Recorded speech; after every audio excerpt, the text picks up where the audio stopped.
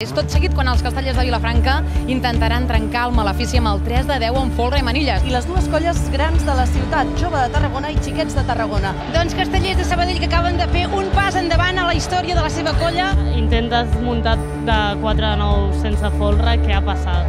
Per tant, un, un procés visquent ara la, la colla jove. Sensacions de doncs, poder tornar a actuar a la plaça més castellera, a la plaça de la Vila. Acompanyar la Maria Morell, que és terça d'aquesta regla del 3 de 7. Maria, com ha estat això?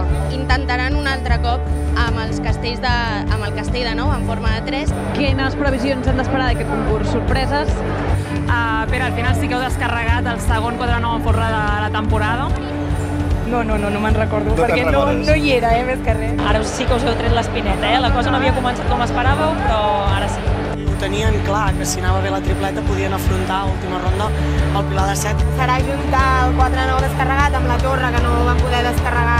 arroba allò de LS Castells, allò dels castells sense la I que he tirat més de Sí. ganes de veure un 5 de 9 dels Minyons que no potser de possibilitat real. Hem vingut amb una carta forta de sortida per, per dir aquí estem nosaltres. Moltes vegades em dic, va, que d'aquí una estona s'haurà acabat i quan s'hagi acabat voldries tornar a començar.